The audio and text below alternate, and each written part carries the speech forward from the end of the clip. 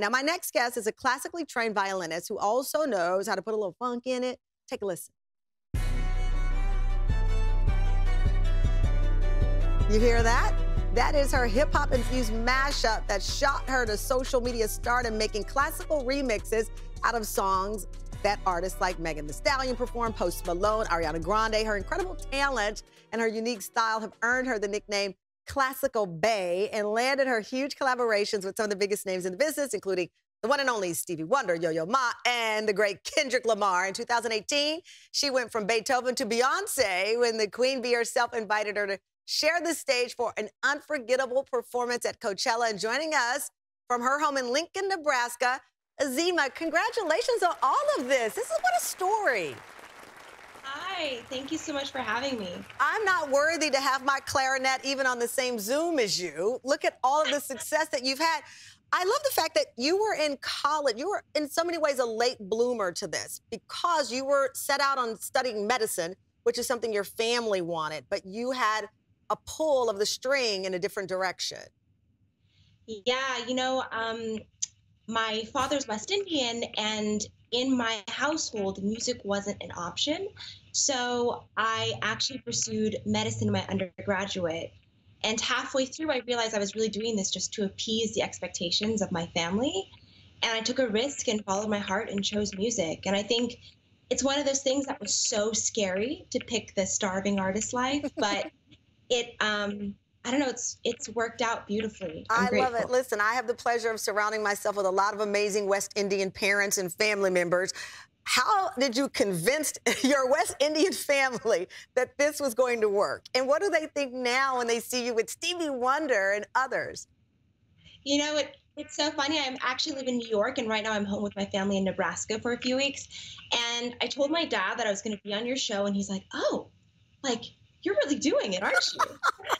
Funny, like what sticks out to him, right? And what is just kind of like, oh, whatever, Beyonce, whatever. Like, okay, I love your dad. See, I told you, I'm surrounded by some amazing West Indian people, so he's in my tribe for sure. How do you describe these mashups that you do? I mean, eh, you, because in a way, you've created your own lane. I know when you started out, you said there weren't people who looked like you. You didn't have a lot of role models that you could turn on television and see. So you created your own lane here. What do you call it? How do you describe it?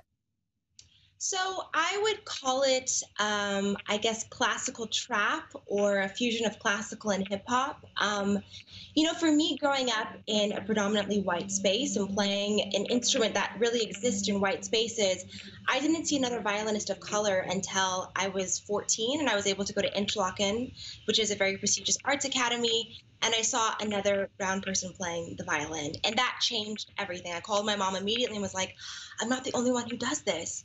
And for me, I think a big part of what I want to do is just enhance and increase the visibility so yeah. more kids of color can see people like me doing this. And you know, I get emails and messages from kids who are in middle school and high school and elementary school and college saying, Thank you so much. You know, I wanted to quit, but because of you, I know it's possible. I know I don't just have to stay in this little box, I but I can express myself and yeah, it's very gratifying. It so. just, I mean, you're the kind of person we root for. I know when I first saw you, it was in that mask off challenge, Future, the, the performer rapper, I guess we consider him. Um, you know, you did the, the the challenge. Millions of people saw it. This is a great example of the power of social media. We talk about how many bad things happen, but when people saw that video of you, it went viral.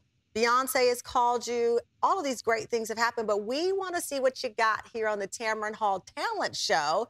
And you're going to perform for us?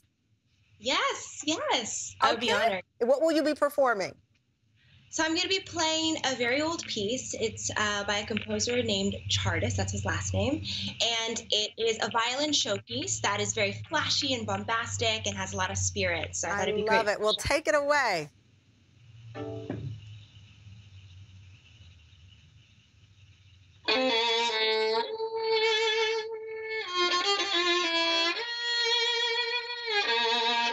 Thank you.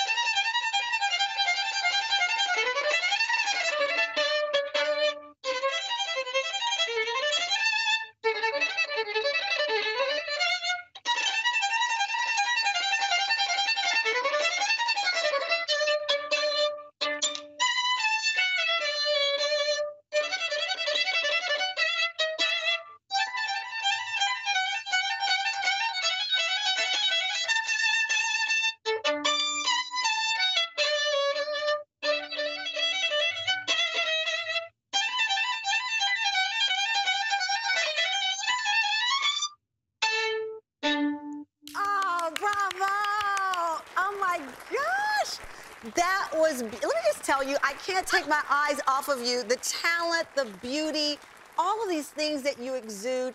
And best of all, you've become the role model in the industry that you didn't have. And now kids watching now, their parents will play this, they'll see you. That's talent. Thank you so much. And give your West Indian family a big hug for me. I oh appreciate it.